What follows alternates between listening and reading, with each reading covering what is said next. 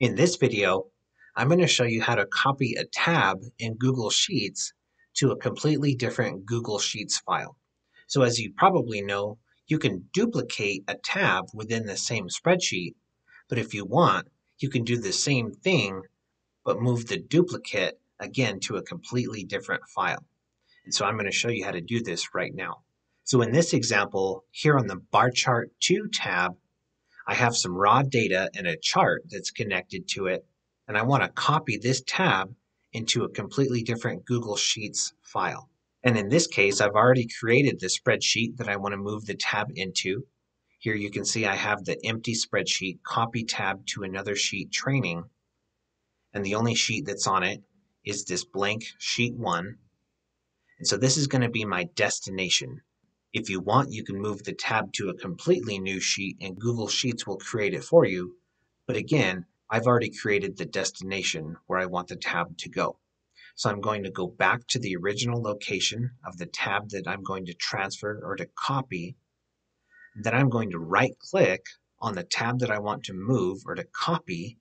Or if you want, you can click on the small triangle next to the tab name and then hover your cursor over copy to and then either select New Spreadsheet or Existing Spreadsheet.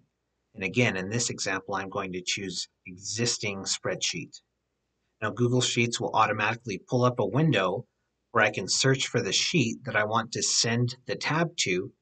And you can either use the search bar, you can look through the folders, or you can simply paste the URL of the destination sheet. In this example, I'm going to use the search bar and then select the sheet that you want to copy the tab to. Google Sheets will tell you that it's copying, and then after a second, it will tell you that the sheet was copied successfully. Now you can either click OK to close the window, or if you want it to automatically open the spreadsheet that you copied the tab into, you have the option to do this as well. And so as you can see, in this destination spreadsheet, another tab has appeared and it's called copy of bar chart 2. And if I click on this, it's the exact same tab that I copied from the other Google Sheets file.